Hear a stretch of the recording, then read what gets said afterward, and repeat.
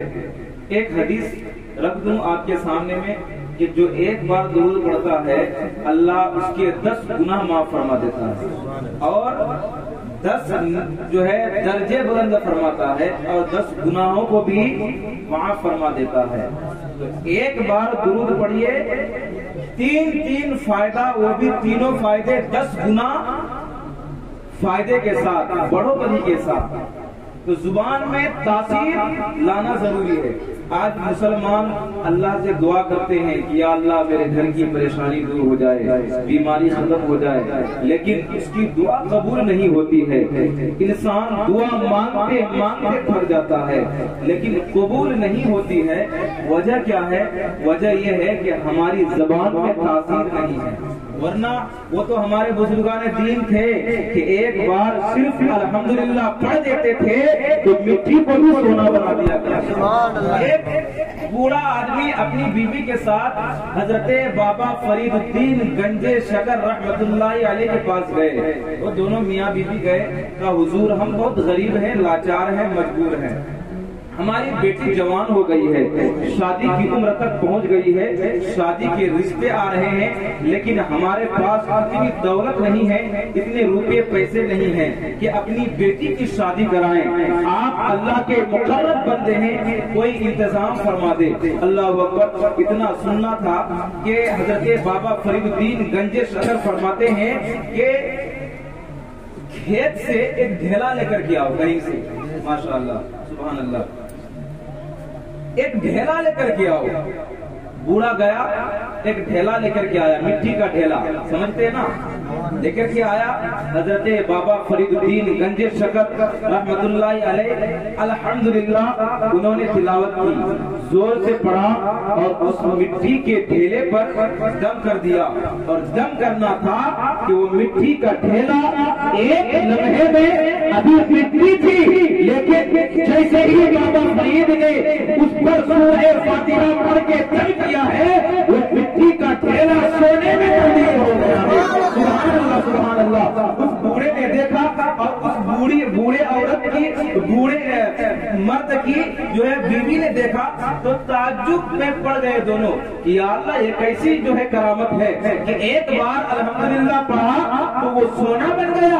अल्लाह अकबर। हज़रत बाबा फरीदुद्दीन गंजे शकर रज़ी अल्लाह ने फरमाया कि ये सोना बन गया है। अब जाओ, इससे तुम अपनी बेटी की शादी कराओ धूमधाम से शादी कराना। अल्लाह अकबर अल्लाह अकबर। दोनों बड़ी खुश, दोनों बड़ी खुशी के साथ घर जाते हैं और घर जाने के बाद शाम हो गई और रात में दोनों मियाँ बीवी घर में गुफ्तगु में कहते हैं यार आज वो जो है वजीफा जिस वजीफे से सोना पना करता है, जिस वजीफे को पढ़ करके जो है मिट्टी को हम सोना बना सकते हैं। बाबा फरीद से हमने सीख लिया है। आज पूरी रात हम दोनों मिल करके आज हमारे खेत में जितने भी ढेले हैं, सारे ढेले को उठाकर घर लाएँगे और अल्हम्दुलिल्लाह पढ़ते जाएँगे और पूरे के पूरे ठेले को सोना बनाते जाएँगे। अल्लाह अकबर। अल्लाह अकबर पूरी आधी रात को वो बूढ़ी औरत और बूढ़ा आदमी चुपके से जाता है खेत में, ताकि किसी को पता ना चले कि हम सोना बनाने का जो है वजीफा का अमल करेंगे। अल्लाह अकबर। ढेले का ढेर लगा दिया अपने घर में और दोनों मियाँ बीबी अलहमदुल्ला पढ़ते जाते हैं और दम करते जाते हैं। एक मरतबा पढ़ा, वो ठेला, सोना नहीं बना। दूसरी बार पढ़ा, सोना नहीं बना। तीसरी बार पढ़ा, सोना नहीं बना। यानी सौ मरतबा पढ़ा, सोना नहीं बना। पूरी रात अल्हम्दुलिल्लाह पढ़ते पढ़ते, गुजार दिया। सुबह हो गई, लेकिन एक भी ढेला सोना नहीं बना।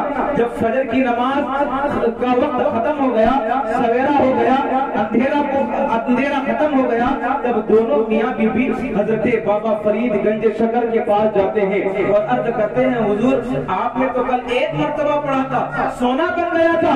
हम दोनों मिलकर पूरी रात मिल करके जो है, हज़ारों मरतबा हमने सूरह फातिहा पढ़ा। है? लेकिन एक मिट्टी का ढेला भी सोना नहीं बना। वजह क्या है? आप पढ़ते हैं तो सोना बन जाता है। हमने पढ़ा तो सोना नहीं बना। हज़रत बाबा फरीद ने जवाब दिया कि, ए, नादान, और ए, नादान सुनो, सोना बनाने के लिए सिर्फ़ अलहमद की तिलावत ज़रूरी नहीं है।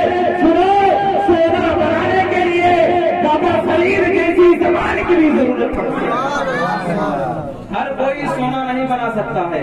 सोना बनाने के लिए बाबा फरीद जैसी जबान की भी ज़रूरत पड़ती है। तो जबान को आप पाकिजा कर लीजिए। जबान में इतनी तासीर लेकर के आए कि अगर कोई बीमार आदमी खड़ा हो जाए, उस पर आप दम कर दे तो वो सही सलामत हो जाए, वो शिफा पा जाए।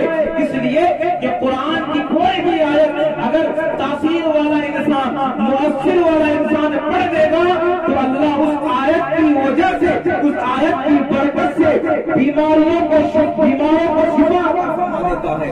तो ज़ुबान को ज़ुबान में तासीर लाना बहुत ज़रूरी है। लेकिन आजकल हम क्या करते हैं? चौक पर बैठ गए तो जो है लोगों की गिबत करना शुरू कर देते हैं। चौराहे पर लोगों की गिबत पर कहीं गली मोहल्ले में लोगों की बुराई थोड़ा सा झगड़ा क्या हो गया? खूब खींच तान करके उसको गाली गलौज देना शुरू कर देते हैं। ये मर्द तो मर्द हैं, औरतों से अगर किसी का झगड़ा हो गया ना वल्ला बता रहा हूँ, एक सांस में सत्तर सत्तर गालियाँ मुँह से निकालती औरत सब सत्तर सत्तर गालियाँ एक सांस में। न जाने थकती क्यों नहीं है जो झगड़ा करते करते। किसी वजह से हमारी जबान में तासीर नहीं है, हमारी दुआ कबूल नहीं होती है। तो दुआ कबूल कराने के लिए पहले जबान में तासीर लाना ज़रूरी है। जब तासीर आ जाएगी ना तो फिर आपको दर बदर भटकने की ज़रूरत नहीं पड़ेगी। आज का नौजवान इंसान जब किसी मुसीबत में गिरफ़्तार हो जाता है, बीमारी में गिरफ़्तार हो जाता है, चला जाता है गाँव के इमाम साहब के पास, चला जाता है गाँव के आलिम साहब के पास, चला जाता है हाफिज साहब के पास, चला जाता है कारी साहब के पास। हज़रत, हम मुसीबत में गिरफ़्तार हो गए हैं, हम बीमारी में मुबतला हो गए दुआ कर दीजिएगा। अल्लाह अकबर, वो इमाम साहब दुआ कर देते हैं, वो आलिम साहब दुआ कर देते हैं, लेकिन मैं उन नौजवानों से, उन लोगों से कहना चाहूँगा कि तुम तुम तुम आलिम साहब के पास बाद में जाना, गाँव के इमाम के पास दुआ कराने के लिए बाद में जाना।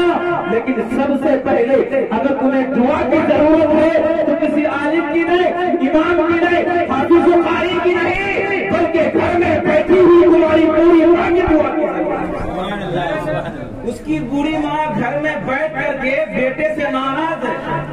ये बेटा चला है, इमाम साहब के पास दुआ कराने के लिए, बताइए दुआ कबूल होगी? नहीं होगी, आप लिख लें आप अमीर तो हो सकते हैं, हाफिज तो हो सकते हैं आजी हो सकते हैं नमाजी हो सकते हैं, लेकिन अगर माँ नाराज़ है तो जन्नती कभी नहीं हो सकती।